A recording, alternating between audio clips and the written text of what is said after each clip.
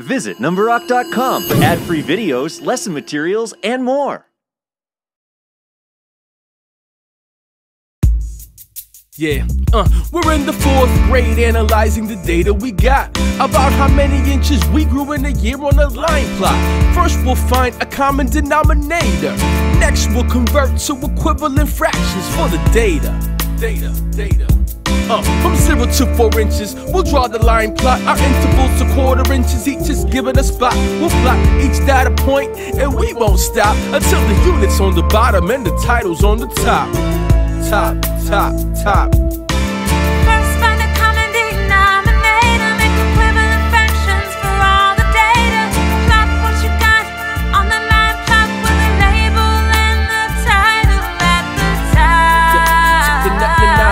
Top. Now, we're writing the fifth graders' growth data down. How many inches they grew in a year is what we had found.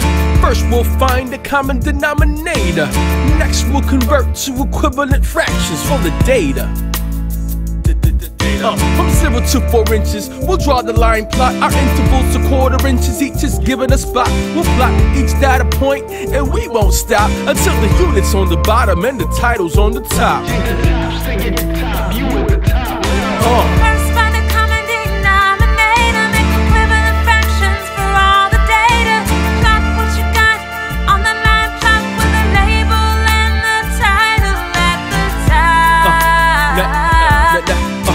We'll analyze the two line plots we made and see that students grew more in the fourth grade. The fifth graders grew less, but that was okay, cause overall the fifth graders are taller anyway. And we fourth graders don't care, we may be shorter, but we rock math every week of every quarter. Uh.